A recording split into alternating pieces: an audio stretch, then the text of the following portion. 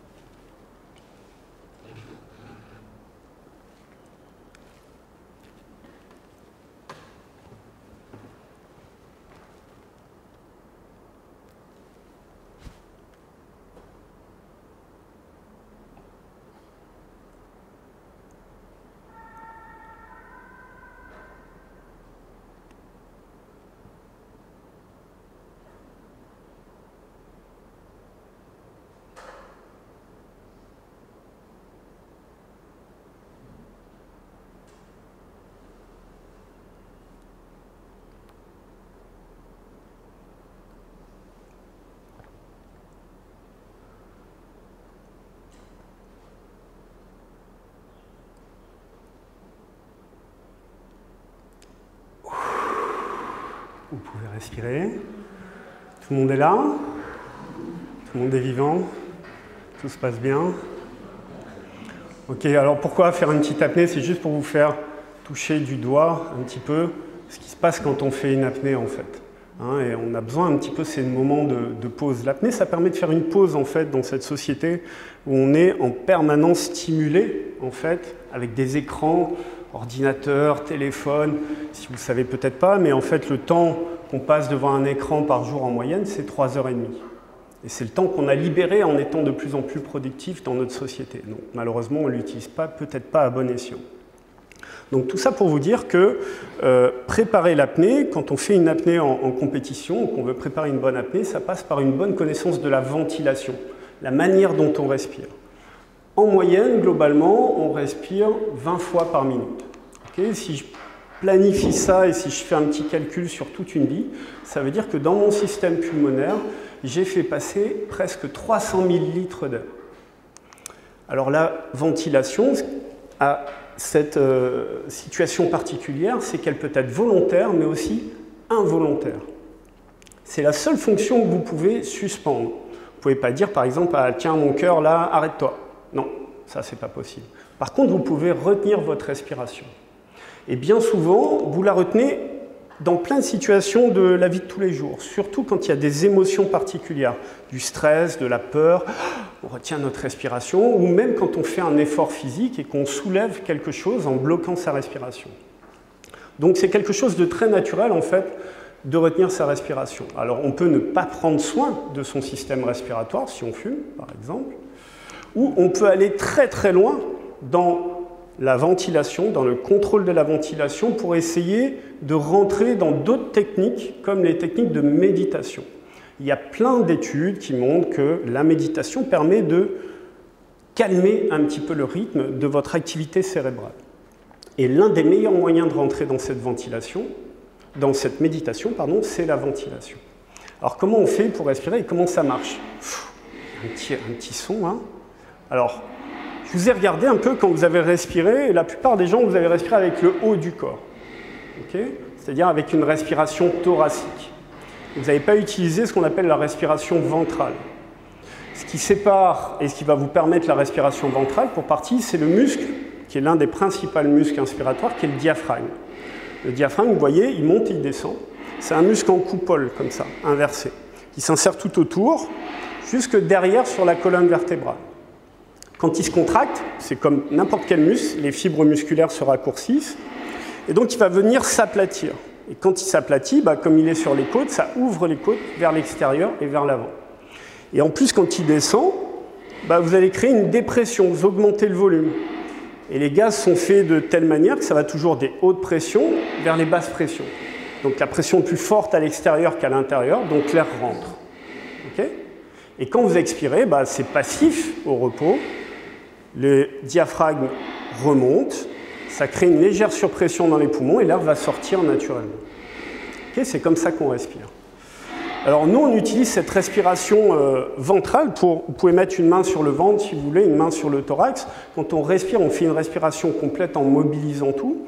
On va gonfler légèrement le ventre et après le thorax. Ok, je peux respirer par la bouche ou euh, par le nez si je veux. Et ça, c'est une respiration complète. Ça permet aussi de relâcher un petit peu. Si on a une respiration vers le haut, on va générer des tensions sur le haut du corps et on va contracter des muscles qui généralement interviennent sur l'effort de haute intensité. Quand on fait des efforts de haute intensité, si on est à des débits ventilatoires très très forts, on stimule d'autres muscles qui sont en haut. on les stimule aussi quand on est un peu tendu.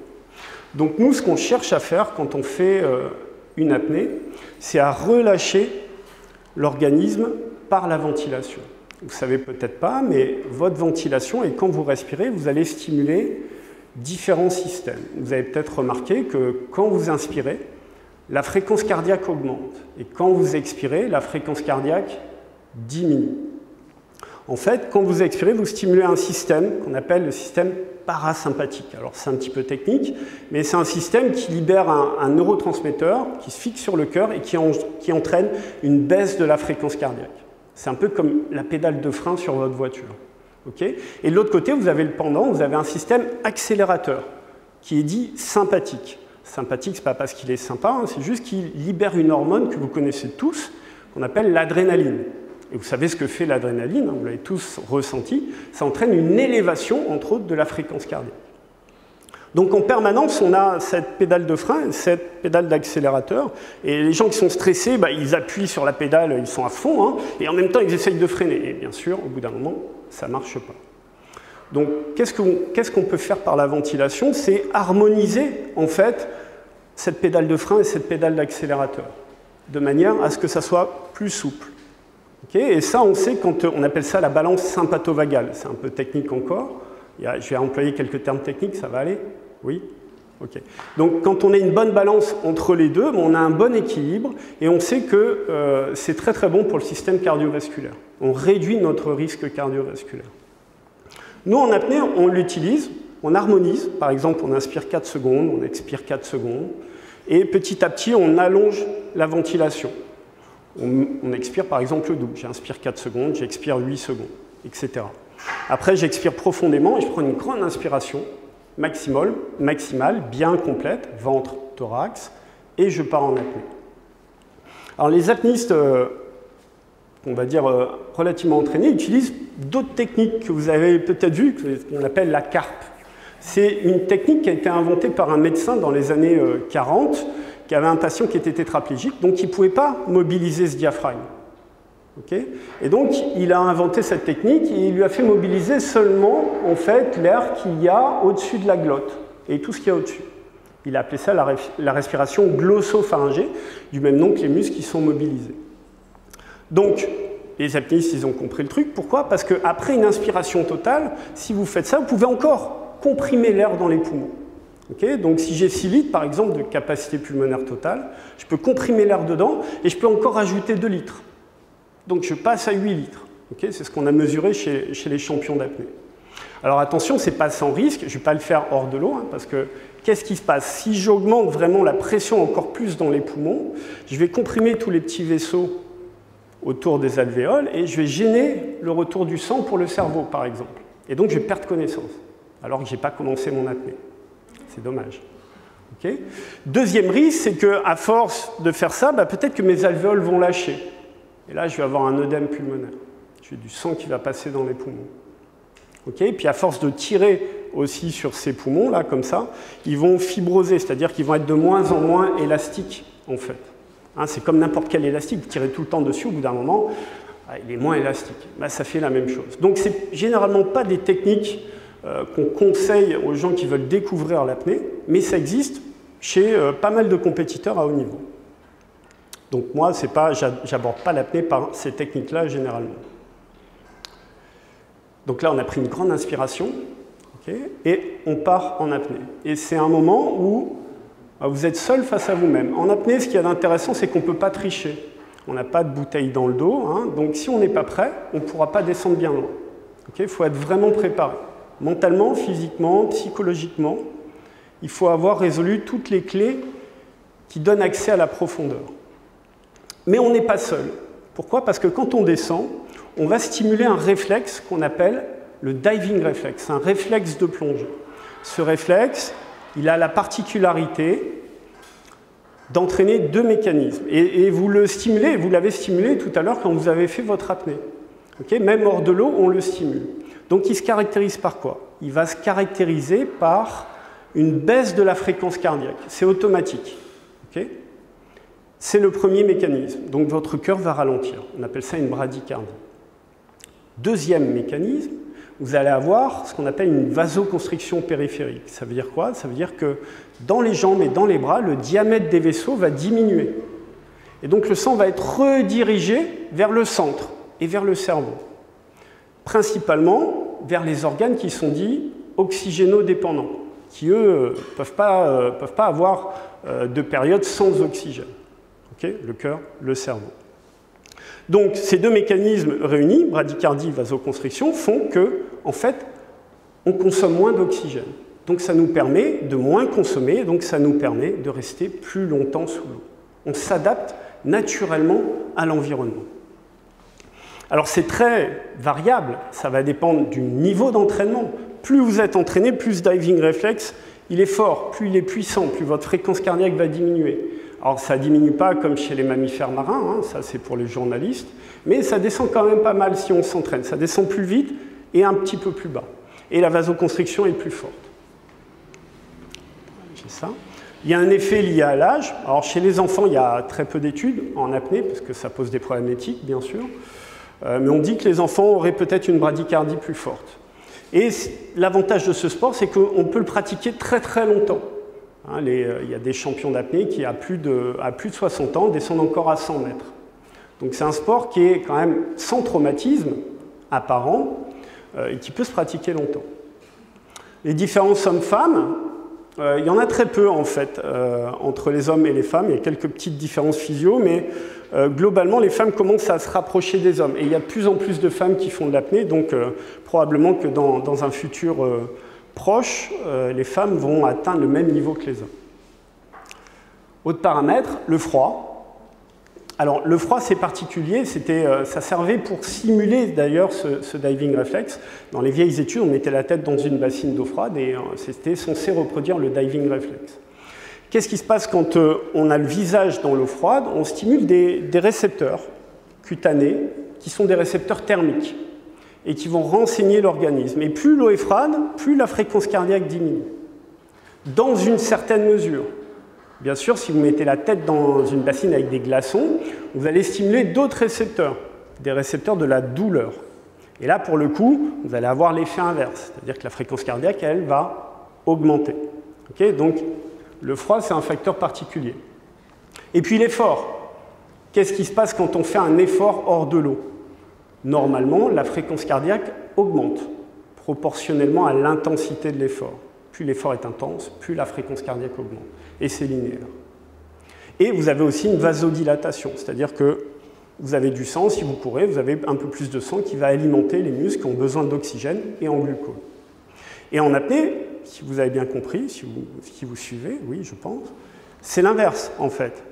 Bradycardie, baisse de la fréquence cardiaque et vasoconstriction. Donc vous avez ces deux mécanismes qui s'opposent. Et l'idée, c'est de ne pas, pas faire un effort trop violent, parce qu'autrement, votre diving reflex va être surpassé par la stimulation liée à l'effort. Donc, quand on enseigne l'apnée, ce qu'il y a d'intéressant au début, c'est plutôt de travailler sur la technique. Pourquoi? Parce que si on travaille sur la technique, on va moins consommer pour parcourir une, certaine distance. Donc, on va être plus hydrodynamique, par exemple. Et en étant plus hydrodynamique, petit à petit, on va se relâcher. Et donc, après seulement, on pourra passer une autre étape et augmenter les distances. Ça va se faire progressivement. Au lieu d'essayer de forcer son apnée et de s'entraîner avec une technique catastrophique. Donc on est descendu en apnée, on a palmé, et au bout d'un moment, qu'est-ce qui se passe? Parce qu'on continue à descendre, bah, on coule. On est en chute libre. C'est un moment un petit peu magique dans l'apnée, puisqu'on n'a rien à faire, on a juste à équilibrer les oreilles. Et ça va être une des limites de l'apniste, être capable d'équilibrer de plus en plus profond avec l'air qu'il a dans ses poumons et l'air qu'il a fait remonter autour de la bouche. Et pendant cette phase où vous n'avez rien à faire, pendant cette période d'apnée où vous coulez, alors c'est en apnée statique, mais c'est la même chose en apnée en, dynamique et en profondeur, au début vous êtes vraiment très relâché. Mais le cerveau, lui, il ne comprend pas ce qui se passe, puisque vous avez vu, quand vous respirez, votre diaphragme, il monte, il descend, il monte, il descend. Et au bout d'un moment, le cerveau envoie un message au diaphragme pour lui dire hey, vas-y, bouge, c'est pas normal. Ça va être la première stimulation. vous allez le voir, son il va avoir une petite secousse comme ça. En fait, c'est un mouvement involontaire qui, en plus, hop, on voit la secousse, qui est en plus majoré par le gaz carbonique. Et oui, vous expirez pas votre gaz carbonique. Comme à chaque fois, là, vous respirez, normalement, on, inspire l'oxygène et on expire le gaz carbonique. Et là, on apnée, non. Et ça, ça stimule aussi euh, ces contractions du diaphragme. Qu'est-ce qui se passe euh, encore pendant l'apnée. Alors, vous connaissez tous le Grand Bleu, j'imagine, je ne vous la refais pas. Vous connaissez peut-être l'histoire originelle avec Jacques Mayol et Enzo Mallorca. Hein, c'est Mallorca, c'est pas Molinari. Vous savez pourquoi? Parce que Enzo Mallorca, au début, il ne voulait pas, pas qu'on donne son nom dans le film, en fait. il était contre. Le film a même été interdit en Italie au début. Alors moi, j'ai rencontré Enzo Mallorca et, euh, et, sa fille, et en fait, Enzo Mallorca, c'était quelqu'un de très humble, petit, donc à l'inverse du film. Et en plus, il avait une, conscience écologique qui était un précurseur en fait. Il, y avait des classes de mer en Italie, il y avait tout un tas de cours éducatifs. C'était un compétiteur, mais il n'y avait pas que ça. Donc c'était très très loin de la réalité et, euh, de, euh, de ce qui était montré dans ce film. Alors pourquoi je vous dis ça? Parce qu'en fait, Enzo Mallorca, dans les années 60, euh, le record de profondeur de l'époque, c'était 50 mètres. Et lui, il a dit, moi, je vais descendre à 51 mètres. Et le médecin qui le suivait, euh, qui était un médecin français d'ailleurs, euh, lui a dit non, non, si tu descends à 51 mètres, plaf, tes poumons vont s'écraser et tu vas mourir.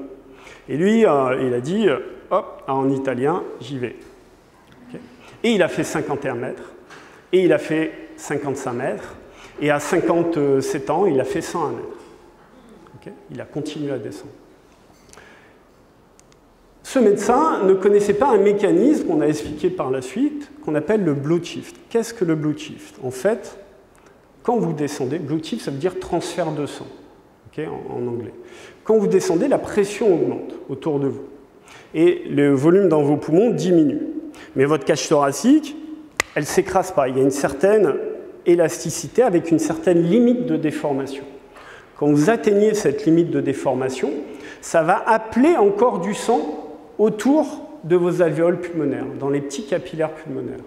Et ça va venir rigidifier votre cage thoracique et protéger vos poumons. Et c'est grâce à ça, en fait, qu'on est capable de descendre. Et maintenant, le, record toute catégorie en, nos limites, nos limites, c'est comme ça, on descend avec un, poids et on remonte avec un parachute. Le record est à 214 mètres. Donc on a réussi à surpasser les performances de l'époque, mais ça s'explique en partie par ce mécanisme.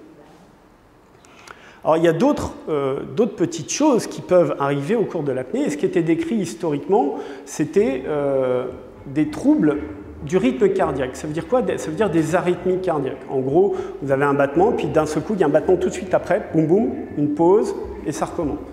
Ça, typiquement une arythmie. Donc pendant un an, j'ai eu la chance de, suivre, non c'est bon pour le son, pendant un an j'ai eu la chance de suivre euh, cet apnéiste qui est Andrea Zuccari qui descend à 185 mètres en eau limite. Et l'idée c'était de l'équiper avec un holter pour faire un tracé euh, électrocardiographique et voir s'il y a des troubles du rythme ou des perturbations et voir aussi si le cœur s'adapte bien à la profondeur avec des marqueurs sanguins. Donc je lui ai demandé de faire euh, deux apnées, pas le même jour, hein, là c'est un montage, vous avez compris, et de faire une apnée tête en haut et une autre tête en bas. Mon idée, c'était de dire, quand on équilibre, ça fait varier les pressions, peut-être que ça engendre encore plus de troubles du rythme. Et puis, contrairement aux autres études qui avaient été faites, bon, elles étaient nettement moins profondes. Là, c'est 100 mètres. Mais surtout, c'est en Égypte. Et en Égypte, à Sharm el-Sheikh, il n'y a pas de thermocline, c'est-à-dire la température de l'eau est quasi constante de la surface au fond, à 100 mètres il y a un demi-degré d'écart. Et on sait que le froid, ça peut aussi générer des troubles du rythme cardiaque. Donc, là, il descend à 100 mètres. Vous êtes en apnée, non? Ça va? Ok. vous voyez la difficulté, c'est vous avez vu au début, il avait les joues bien gonflées. Ok, donc il utilise uniquement l'air qu'il y a ici entre la glotte et, en haut, jusqu'au fond. Donc il faut être capable d'en utiliser le minimum et d'utiliser plusieurs techniques. Il y a plein de techniques qui permettent de descendre profond. Alors il a réussi, hein, sans problème. Pour lui, c'était facile.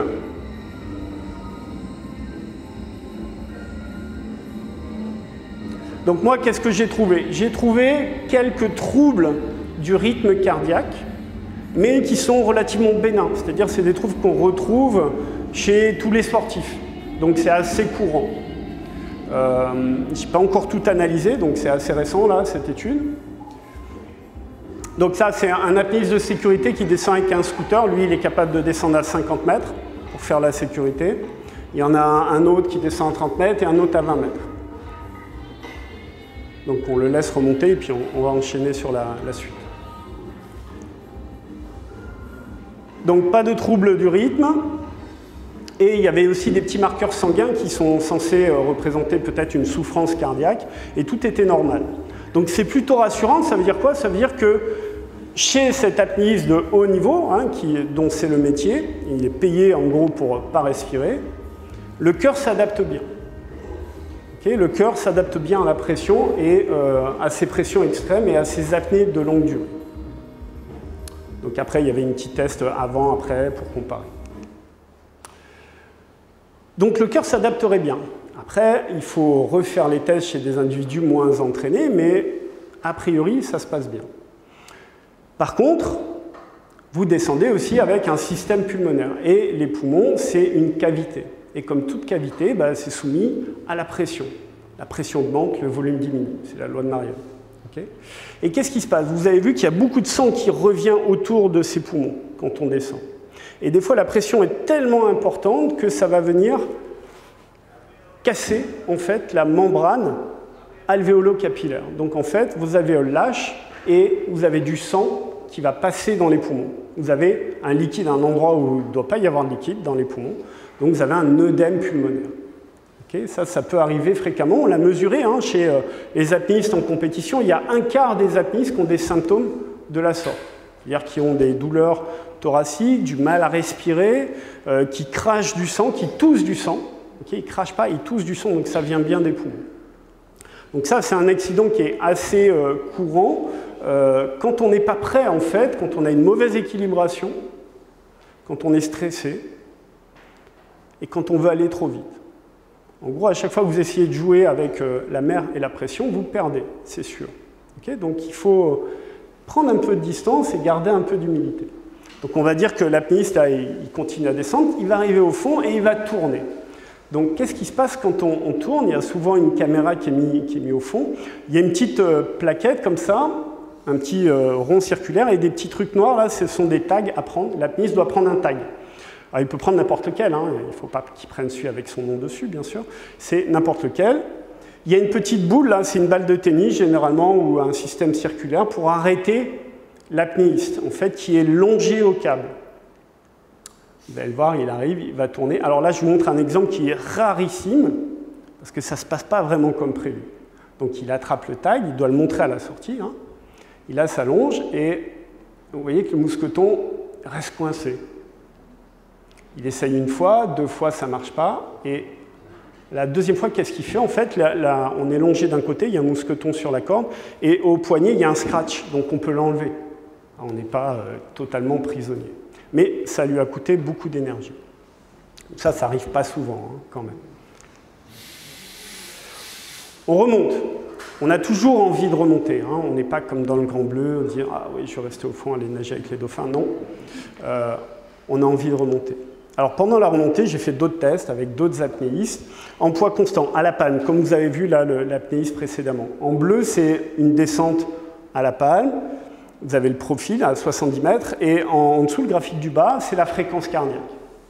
Et chose incroyable que j'ai observée chez tous les apnéistes de haut niveau que j'ai testés, c'est qu'à la remontée, la fréquence cardiaque ne bougeait pas alors que l'apnéiste était en train de palmer, donc il faisait un effort. Et normalement, on devait s'attendre à une augmentation de la fréquence cardiaque.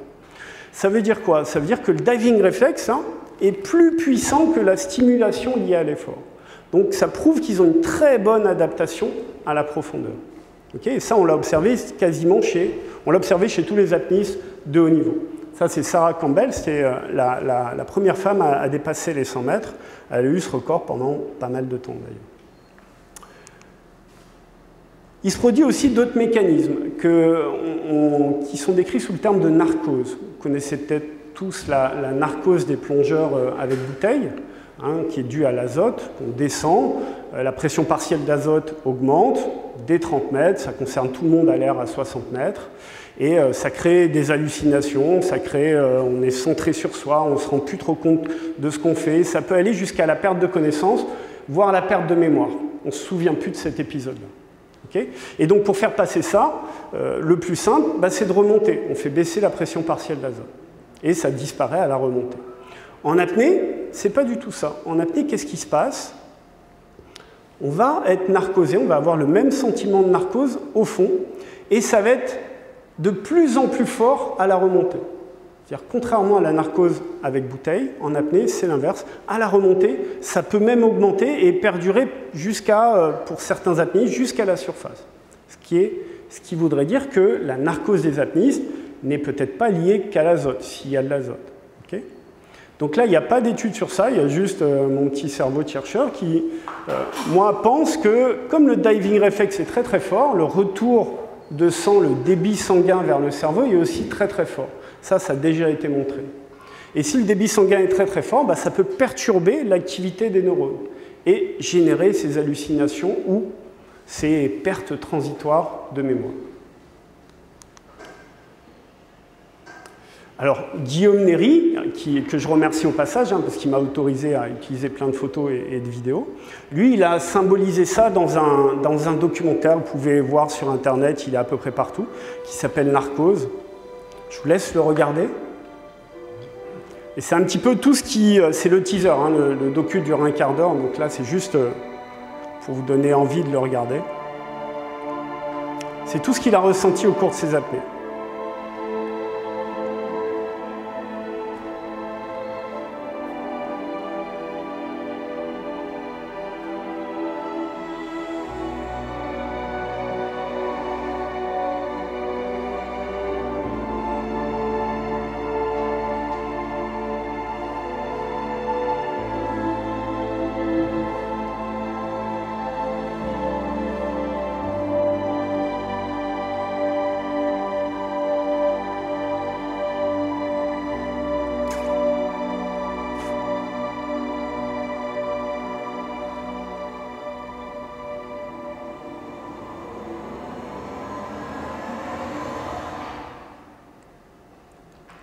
Je vous encourage à aller le voir. Hein. C'est filmé de manière très euh, artistique en même temps, donc c'est ça qui est intéressant. Autre mécanisme qui peut se produire quand on remonte. On est toujours dans la remontée, c'est ce qu'on appelle la syncope, la perte de connaissance. Le mieux, c'est de voir quelques vidéos. Là, c'est une vidéo des premiers championnats du monde d'apnée en 96, où le recordman du monde de l'époque en apnée statique perd connaissance. On va le voir juste après. Donc on est obligé de le remonter à la surface, autrement il reste au fond et il se noie, hein, bien sûr. On le ranime, et il revient à lui. Et quand il revient à lui, il se souvient de rien. Il ne sait pas où il est, il ne sait pas ce qui s'est passé, il voit des gens autour de lui, il croyait être encore en apnée. Autre exemple, et je vais vous expliquer après, encore Guillaume Néry, il m'en voudra pas, j'espère. Là, c'est au cours d'une compétition où il annonce 129 mètres, je crois, proche du record, ce qui était le record de l'époque. Et euh, malheureusement pour lui, les organisateurs se trompent sur la distance, sur le câble. Et au lieu de faire 129, euh, ils mettent 10 mètres de plus, 139. Donc à ce niveau-là, 10 mètres de plus, c'est comme si on vous demandait de, monter sur l'Himalaya alors que vous faisiez que le Mont Blanc. Hein. Il faut peut-être 10 ans pour euh, avoir ces 10 mètres supplémentaires. Donc d'ailleurs, lui aussi, ça l'a perturbé à la descente et il cherche et il dit ah, ça dure longtemps, je discute avec lui. Donc d'habitude, il ne se lève pas comme ça, il cherche, il arrive à aller au fond, ce qui est quand même assez incroyable. Hein. Personne n'était descendu à la palme euh, à cette profondeur. Mais bien sûr, si vous allez beaucoup plus loin que vos limites habituelles et que vous n'êtes pas entraîné pour ça, bah, ça coûte énormément en oxygène. Et donc ça se paye à un moment ou à un autre. Et Guillaume va perdre connaissance à la remontée, donc on voit qu'il commence à plus avoir la même nage euh, que sa nage habituelle, il est en biais, il commence à avoir des petits mouvements euh, désordonnés. Là, il est en train de perdre connaissance. Ce n'est pas forcément d'un seul coup. Ça peut être légèrement progressif comme ça, et dans cette période-là, il ne s'en souvient pas. Et bien sûr, il faut le remonter à la surface. Il va bien hein, maintenant, ne vous inquiétez pas. Autre exemple, et là on se rapproche plus du pays, alors, il y a le son, hein, mais, c'est intéressant quand même. si vous chassez, il y a des chasseurs peut-être ici présents euh, ce soir, bah, vous restez parfois longtemps au fond, vous attendez à la fin pour tirer un poisson, et il faut quand même remonter le poisson. Et donc là, c'est dur, surtout si vous n'avez personne pour vous aider, comme sur cette vidéo. Donc, perdez connaissance.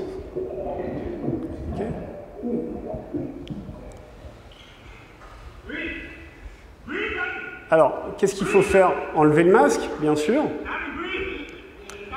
Lui dire de respirer, il a perdu connaissance, il va peut-être vous entendre. Ça ne sert à rien de secouer ou de mettre des gifles, hein. ça, ça ne marche pas. Parler fort comme ça, pourquoi pas, mais le plus efficace. Voilà, là il reprend, il, reprend sa ventilation. Le plus efficace, c'est de faire, nous, ce qu'on appelle un, un bouche à nez. C'est-à-dire on ferme la bouche, on libère les voies aériennes, on penche la tête en arrière et on souffle par le nez. Pourquoi par le nez? Parce qu'il y a plein de capteurs par le nez et ça va stimuler en plus un peu plus l'organisme. Mais on fait un bouche à nez en fait. ça c'est très efficace. Si ça ne marche pas après, ça veut dire que vous allez partir sur une réanimation classique avec massage cardiaque, etc. En général, ça marche. On souffle et on peut faire ça dans l'eau, mais il faut être entraîné. Donc, il faut être préparé à faire ça. Est-ce qu'il y a des morts en apnée? Alors là, c'est un, petit tableau, c'est les chiffres du DAN qui sont relativement anciens, mais qui datent de 4-5 ans. Vous avez quatre catégories, regardez, snorkeling, spearfishing, c'est la chasse sous-marine, snorkeling, c'est snorkeling, hein, la randonnée palmée, collecting, c'est des gens qui ramassent des coquillages, des oursins, des algues, et freediving. Et qu'est-ce qu'on peut voir? On peut voir que c'est le nombre de morts en fait. Là où il y a le plus de morts, c'est en snorkeling. Pourquoi? Bah, Parce que tout le monde peut faire du snorkeling, tout le monde peut prendre pas de masque et tuba sans vraiment bien savoir nager, sans vraiment connaître la mer, en buvant la tasse une fois, deux fois, en paniquant et en se noyant tout seul en surface. et c'est souvent comme ça que ces gens-là meurent, par noyade en surface. Alors ça ne veut pas dire que l'apnée n'est pas dangereux et que le, snorkeling est très très dangereux, hein, c'est pas ce que j'ai dit, mais ça fait quand même réfléchir. Ça veut juste dire que quand vous allez en mer et que vous utilisez n'importe quel outil en mer, il faut être préparé, il faut être formé. Et pour ça, il y a plein d'associations qui existent sur le terrain. Alors moi, ce qui m'intéresse, c'est les effets à court terme, bien sûr, mais les effets à long terme. Qu'est-ce qui va devenir, là, euh, Guillaume Néry, plus tard? On ne sait pas. Alors, lui, il le sait à peu près parce qu'il a été, je ne sais pas si vous avez vu ces images, là, il était en, Belgique, dans le laboratoire de Steve Lawrence, là, qui est un, neuroscientifique qui, qui est un neurologue qui travaille sur le coma. C'est un spécialiste du coma et des états de conscience. Donc ils lui ont fait faire un EEG, un électroencéphalogramme, il est passé en scanner. Et en fait, qu'est-ce qu'ils ont montré? Ils ont montré que son cerveau était normal, tout allait bien, du moins, il n'avait pas de, lésions. Et euh, il y a une petite particularité ici qui va être publiée là bientôt, c'est qu'ils ont montré que Guillaume avait la particularité de se détacher facilement de son corps, en quelque sorte. Ça, ils l'ont montré par les images et l'activité électrique. Et une activité comme ça, c'est observé chez, par exemple, des gens qui font de la méditation, on appelle les méditants et qui ont 10 euh, 000 heures ou 20 000 heures pratiques. Donc ça lui permet probablement de se concentrer uniquement sur l'équilibration et d'oublier tout le reste. Et peut-être se concentrer après sur le virage et le nombre d'ondulations, etc. Donc finalement, est-ce que c'est dangereux? Euh, Il y a quelques études qui montrent que quand on fait des apnées de longue durée, quand on fait des syncopes, on va produire des petits marqueurs. Imaginez, vos neurones n'ont pas assez d'oxygène, ils sont lésés, ils sont détruits, et euh, le, produit de cette destruction se retrouve dans le sang. Et c'est comme ça qu'on identifie s'il y a ou non une souffrance cérébrale. et oui, typiquement, après des apnées de longue durée ou après des syncopes, on observe une augmentation de ces marqueurs. Ce qui veut dire que faire des apnées de longue durée comme ça, à haut niveau, peut être délétère pour la santé. Malgré tout, je vous ai fait faire une apnée, donc normalement vous n'avez pas grillé de neurones. Hein. J'espère. Non, normalement non. Quand on fait une apnée de courte durée, qu'est-ce qui se passe? On a le diving reflex. Et ce diving reflex, il permet quand même de rediriger du sang vers le cerveau. Si vous faites une apnée de 30 secondes, même si vous n'êtes pas entraîné, vous avez une augmentation du débit sanguin vers le cerveau, qu'on appelle le débit sanguin cérébral, de 50%. donc j'ai un peu plus de sang, donc j'ai de l'oxygène pour mon cerveau. Si je suis apnéiste de haut niveau, le débit sanguin cérébral, lui, peut augmenter de 200%.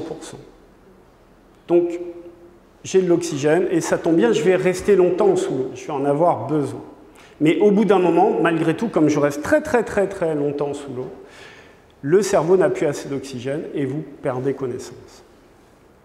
Donc nous, on s'était dit, mais à force de faire des syncopes, est-ce qu'ils ne vont pas devenir complètement euh, ma boule, en quelque sorte?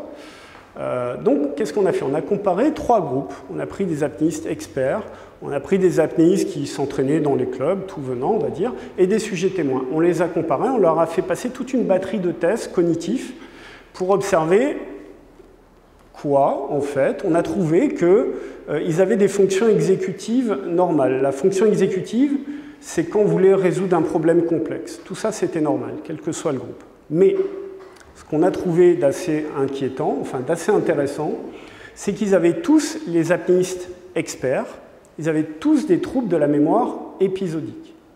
La mémoire épisodique, c'est quoi? C'est vous rentrez chez vous, posez vos clés à un endroit, et une heure après, vous êtes là, euh, où est-ce que j'ai mis mes clés? Je ne sais plus. Bon, il y a un facteur âge, hein, bien sûr, mais euh, indépendamment de l'âge, c'est ça la mémoire épisodique. Et tous les apnéistes de haut niveau avaient des troubles de la mémoire épisodique et qui étaient reliés à l'entraînement, c'est-à-dire plus ils avaient un niveau d'entraînement élevé, plus ils avaient des troubles de la mémoire épisodique. Et c'était relié aussi au nombre de syncopes. Donc ça, c'est à la fois peut-être inquiétant pour le futur des apnéistes qui font beaucoup de syncopes, mais aussi rassurant. Inquiétant parce que ça montre qu'effectivement, bah, peut-être qu'il y a des troubles et qu'on ne connaît pas encore les conséquences à long terme. On a un projet de recherche avec le, CEA et les collègues de Neurospin là à Paris pour étudier ça prochainement. Mais c'est aussi rassurant parce que dans le groupe d'apnéistes entraînés, donc on va dire c'est 98% des apnéistes, eh ben, il n'y avait pas de problème, il n'y avait pas de séquelles. À condition que ces gens-là ne fassent pas de syncope, bien sûr. Parce que là, les conséquences à long terme, on ne les connaît pas. Ça va Vous avez toujours envie de faire un petit peu d'apnée, peut-être Non? Oui? Ok. On continue, il y a encore quelque chose. Alors, il y, a, un mécanisme, il y a, d'autres problèmes que rencontrent les, les et qui ont été décrits ici en Polynésie par un chercheur américain, Cross, dans les années 50, euh, il a publié en 60. Et lui, il est venu étudier les, pêcheurs de perles qui, ramassaient les, euh, les, nacres, et, qui vendaient la nacre en fait. Hein. Il y a eu de la nacre très très tôt, euh, fin, début du 19e, un peu partout en Europe, pour les lunettes, pour les jumelles qui étaient nacrées, des bijoux, etc et aussi les perles, bien sûr. Il a étudié environ 200, euh, il avait un échantillon de 200 apnéistes, et il y avait 20% euh, des pêcheurs de perles qui avaient des troubles neurologiques. Euh, et ces troubles neurologiques, les pêcheurs appelaient ça le taravana. Taravana, visiblement, ça veut dire tomber fou ou devenir fou ou fou, tout simplement, en polynésien. Donc, ils avaient l'air d'être fous. Sur euh, ces 20%, il y en avait 6 qui avaient des hémiplégies, qui étaient paralysés pour moitié. Et il y en a deux qui sont morts dans les deux heures après leur session de pêche. Donc, c'était la, grosse, la première étude euh, chez, ces plongeurs de perles ici, en Polynésie, qui plongeaient bien sûr en apnée hein, et qui faisaient des apnées entre 20 mètres et des fois 40 mètres pour aller chercher les nacres. Et ils en remontaient 30, 40 à l'époque. Alors ici, j'ai vu qu'il y a un magasin qui vendait des maillots de bain qui s'appelait Taravana, mais je pense qu'il n'y a aucun rapport. Alors concrètement, euh, quand on regarde euh, les, cas et le profil de plongée des gens qui ont des accidents, on s'aperçoit que c'est des gens qui ont des temps d'apnée de 2 minutes avec une récupération de 2 à 2,30 en surface et qui plongent comme ça pendant environ 5 heures. Typiquement un chasseur sous-marin, on pourrait dire, hein, c'est ça hein, quand on regarde. Et les symptômes, c'est quoi? C'est vertige, nausée, un peu comme un mal de mer, à la différence que souvent, euh, ça passe pas et ça évolue vers des paralysies donc ça n'a rien à voir avec ce qu'on observe en plongée euh, bouteille. Donc mon idée à l'époque, c'était d'aller étudier euh, des populations qui étaient exposées à ces accidents. Donc je me suis dit, tiens, je vais aller au Japon. Il y a les amas du Japon, vous connaissez les amas de Corée, qu'on voit souvent dans les reportages, mais il y a aussi les amas au Japon. Et au Japon, il y a deux catégories euh, d'amas. Il y a ce qu'on appelle les kashido. Les kashido, ce sont celles qui ramassent en fait les coquillages. C'est souvent un marée basse, hein. elles plongent parfois presque jamais, ou ça dépasse rarement les 5 mètres. C'est un peu le, pêcheur euh, de marée basse qu'on a en, France. Et il y a aussi ce qu'on appelle les funados, c'est 10% des amas, donc nettement moins. Et là, c'est une plongée assistée à l'aide d'un lest. Et chez ces euh, étaient décrits des accidents qui ressemblent à des accidents de décompression, comme chez les plongeurs bouteilles, pour 6% d'entre eux. Ça concernait très très peu de cachido, mais c'était 40% des amas Funado. Donc j'ai monté une étude à l'époque avec les, médecins japonais pour aller étudier les amas et les plongeurs là-bas. Là, c'est dans une cabine euh, où euh, l'idée c'était de faire de la détection de bulles. Comment on détecte les bulles? En fait, on enregistre les bruits du cœur et euh, on analyse les bruits du cœur a posteriori en double aveugle avec des gens qui ne connaissent pas les enregistrements. Et sur ces enregistrements, sur les bruits du cœur, on va essayer de détecter le passage de bulles. Et comme ça, il y a quatre grades. Le grade 1, il y a un tout petit peu de bulles. Et le grade 4, ça va jusqu'à 4, il y a tellement de bulles que des fois, ça couvre les bruits du cœur. Donc, j'ai essayé de faire un peu de détection de bulles. Euh, là, c'est juste des photos. Euh, celui qui est sur la balance, c'est le plus jeune, 57 ans. Et celui qui est derrière, avec du ventre et en train de fumer et qui avait aussi du diabète, c'est le meilleur d'entre eux. Véridique. Donc on est loin de l'image que vous avez vue au début. Alors pourquoi c'est des hommes et pas des femmes? Parce que maintenant au Japon, depuis beaucoup de pas mal d'années, les professionnels qui sont organisés de manière professionnelle en syndicat, c'est que des hommes. Et les femmes maintenant sont sur le bateau. Et euh, vous allez voir comment ça se passe. Donc une petite vidéo.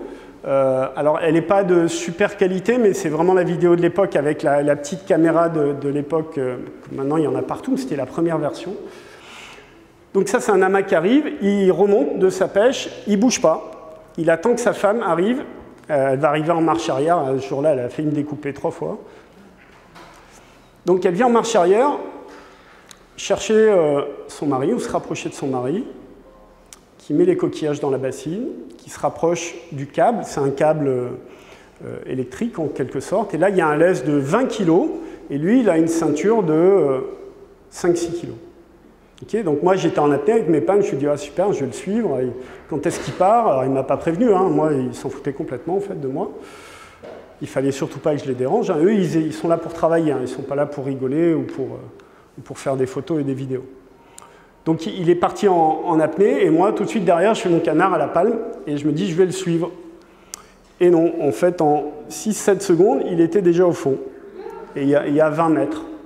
Donc ils descendent comme des fusées en fait.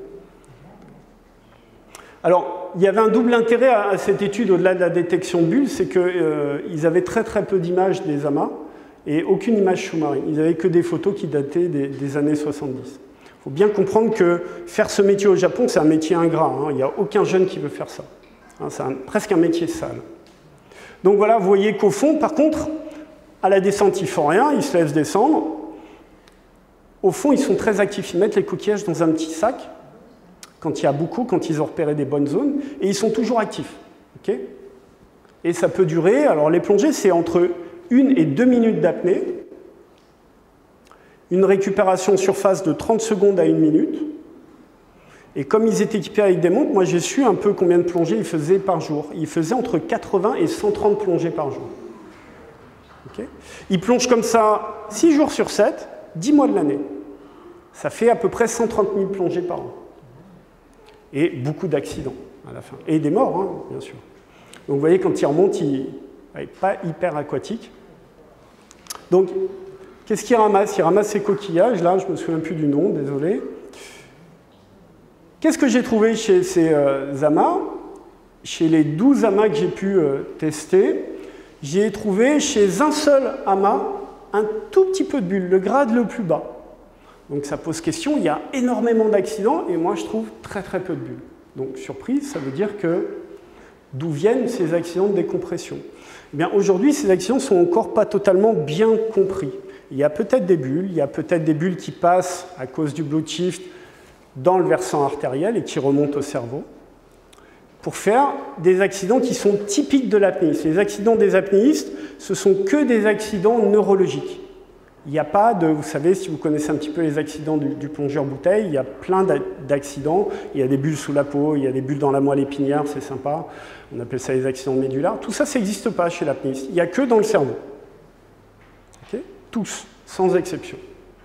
Donc ça veut dire qu'il y a des mécanismes qui contribuent à soit un dégazage ou à ce que les bulles arrivent jusqu'au cerveau et à ce que euh, les, gens fassent, en fait, in fine, à la fin, ce qu'on appelle des œdèmes cérébraux.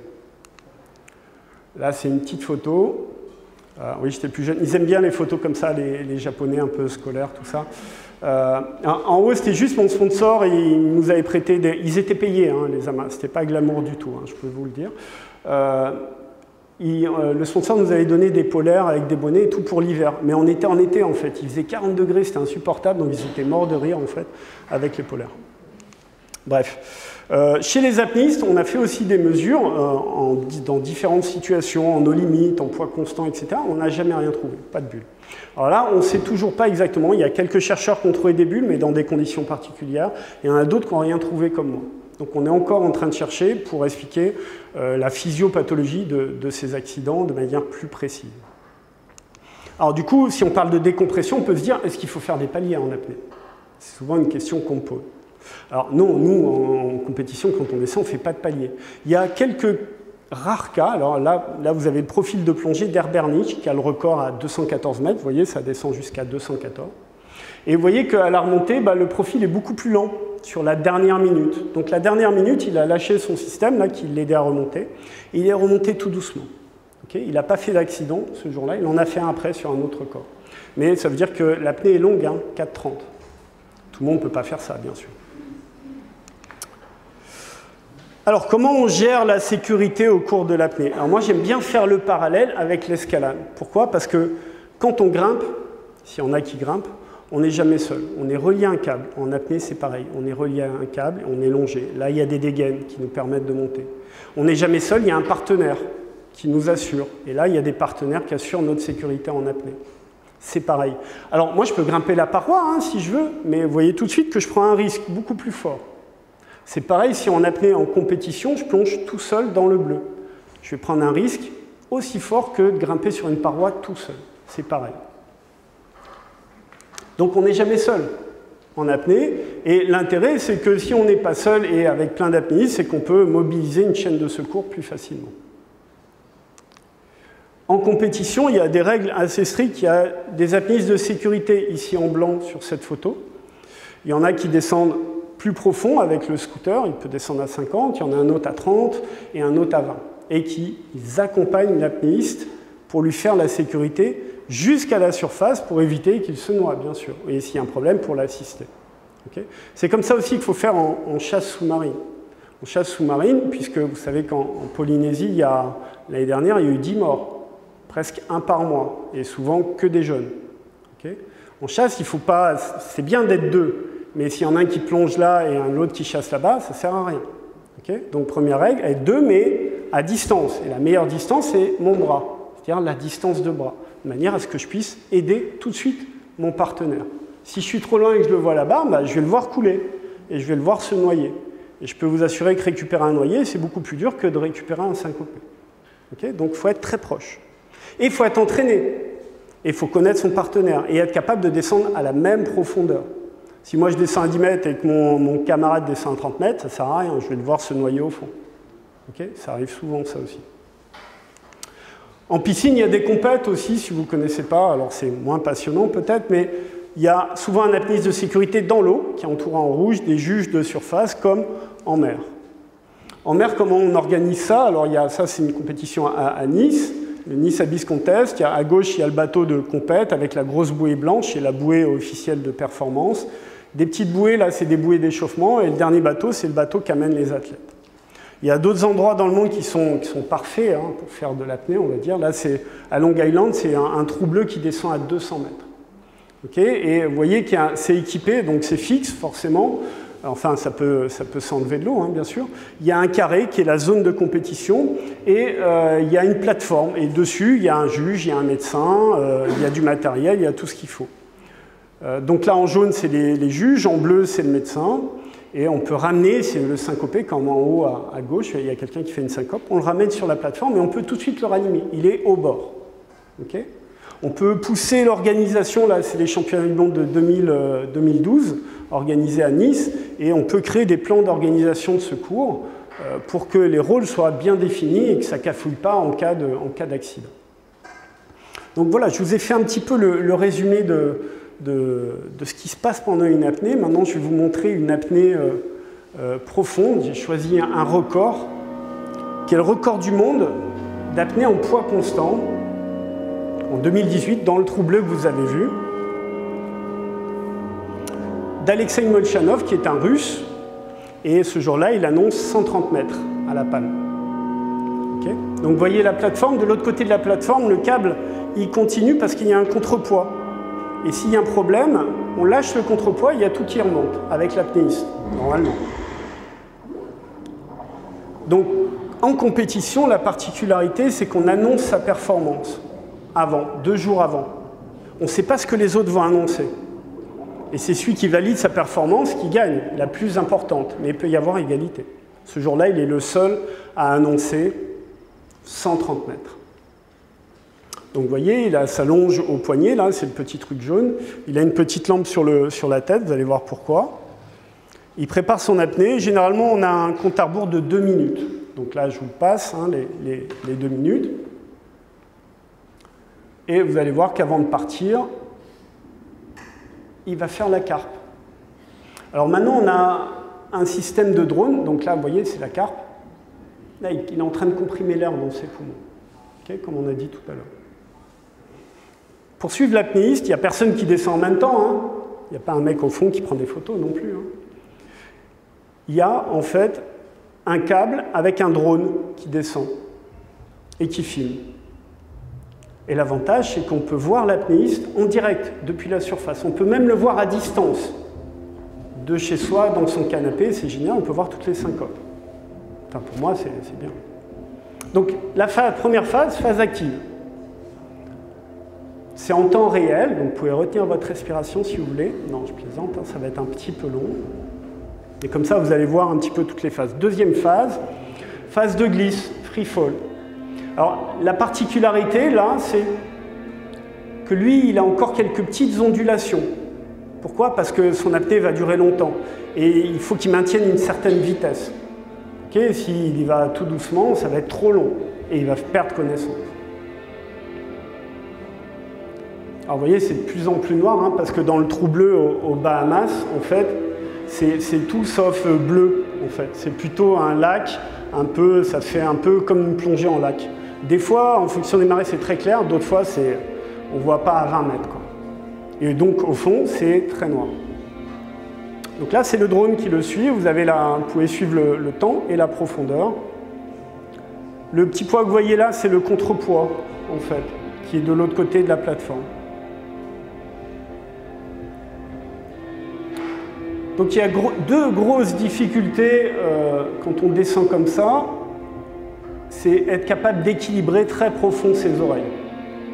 Ça va être l'une des limites. Mais maintenant, on connaît un petit peu toutes les techniques d'équilibration et il y a de plus en plus de gens qui, savent comment équilibrer, qui savent l'enseigner. Comme l'italien que je vous ai montré tout à l'heure, qui est spécialiste dans, ces techniques d'équilibration profonde. Et l'autre limite, bah, c'est le temps. Plus vous allez aller loin, plus ça va durer longtemps. Donc il y en a qui essayent de descendre vite. Et souvent, ils remontent euh, pas très bien. 122, il va bientôt arriver.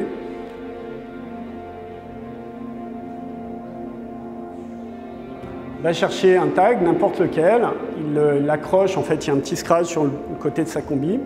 Et là il faut qu'il remonte, hein, parce qu'il ne va pas remonter tout seul. Hein. Donc il faut qu'il pale.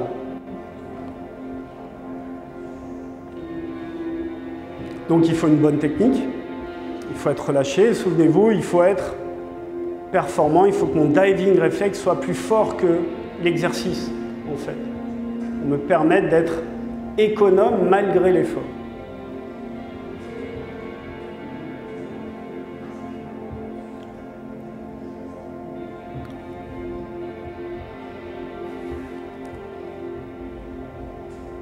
C'est long, hein? Alors, il va être rejoint par euh, plusieurs apnistes de sécurité. Là, sur son record, il y en avait trois. Il y en avait un à 40 mètres. Vous allez voir, probablement. Bah, à 40 mètres, là, il est qu'à 60. Regardez le temps à la sortie. Hein. Vous allez voir, c'est quand même relativement long. Donc là, on va pas tarder à voir le premier apnéiste de sécurité qui le rejoint, qui est capable d'intervenir. Hein. Le deuxième, il sera à 30 mètres et le troisième vers 20 mètres. Généralement, il n'y en a que deux. Là, pour des grosses perfs comme ça, on, peut en rajouter un autre. Et il y en a sûrement un autre en surface. À la sortie, il doit enlever son petit pince-nez, là, vous avez vu. Il doit faire le signe OK et dire I'm OK. Il a 15 secondes pour dire ça. S'il ne fait pas ça, il est disqualifié. S'il perd connaissance, il est disqualifié.